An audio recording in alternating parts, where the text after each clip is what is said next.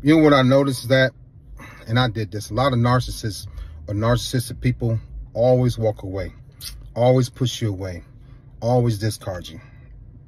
It's because they are living a purposeless life. I lived a purposeless life for a very long time.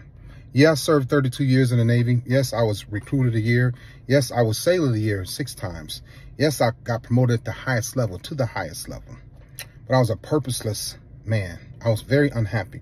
So when they push you away, for many reasons, first of all, they know that they're going to eventually leave you.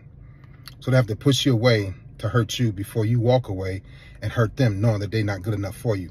So they're going to push you away first they're going to make you feel inadequate. They're going to make you feel unhappy. They're going to make you feel unimportant. They're going to make you feel less than yourself.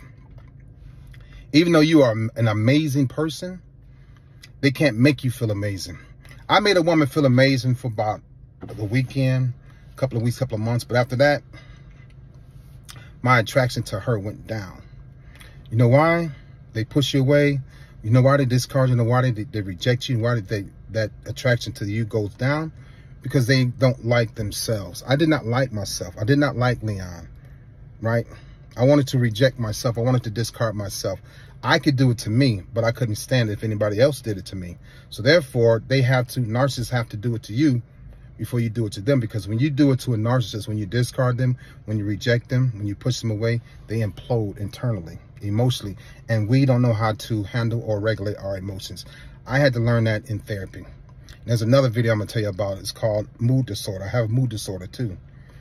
Lee may, Lee Hammock may have it. Ben Raw, Raw Motivation may have it too. But narcissists have a hard time regulating their emotions because what we do with this false sense of false sense of reality and false sense of security, they are very insecure. I was very insecure.